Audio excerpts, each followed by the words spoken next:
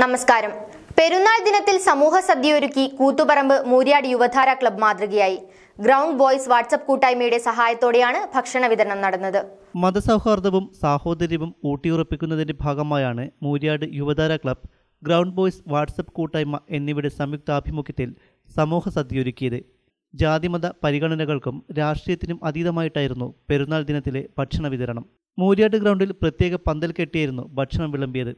Covid സാഹചര്യത്തിൽ സാമൂഹ്യ അകലം പാലിച്ച് നടന്ന ഭക്ഷണ വിതരണത്തിന് മുന്നൂറോളം പേരാണ് എത്തിയത്.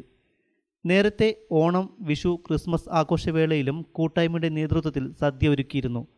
ക്ലബ്ബ് ഭാരവാഹികളായ K K Shameer K K Siraj K P Shaiju K P Shaji തുടങ്ങിയവർ പരിപാടിക്ക് നേതൃത്വം നൽകി.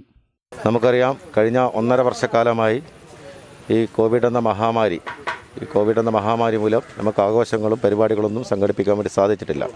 ഈ ബക്രീദ് ദിനത്തിൽ ഈ ഒരു വർഷം ഈ രണ്ടാം വ്യാപനം കഴിഞ്ഞതും മൂന്നാം വ്യാപനത്തിലേക്ക് കോവിഡ് പോകുന്ന സാഹചര്യത്തിലും കഴിഞ്ഞ ഒന്നര വർഷക്കാലമായി നമ്മുടെ മേഖലക്ക് മൂരിയാട് മേഖലക്കകത്ത് വളണ്ടിയർ പ്രവർത്തനം നടത്തുന്ന വളണ്ടിയർമാർക്കും അതേപോലെ തന്നെ നമ്മുടെ നാട്ടുകാർക്കും ഈ യുവതാര അതേപോലെ തന്നെ വാട്സപ്പ് കൂട്ടായ്മ ഗ്രൗണ്ട് ബോയ്സും സംയുക്തമായിട്ടാണ് ഈ ഒരു ഭക്ഷണ പരിപാടി ഇവിടെ സംഘടിപ്പിച്ചത്.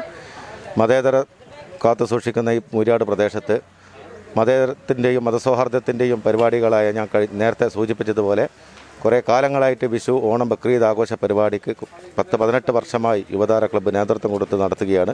അപ്പം അതിന്റെ ഭാഗമായിട്ട് തന്നെയാണ് ഈ വർഷം ബക്രീദ് ദിനത്തിൽ ഈ ഭക്ഷണ പരിപാടിയുടെ തീരുമാനിച്ചത്. Media fort Koothuparamba.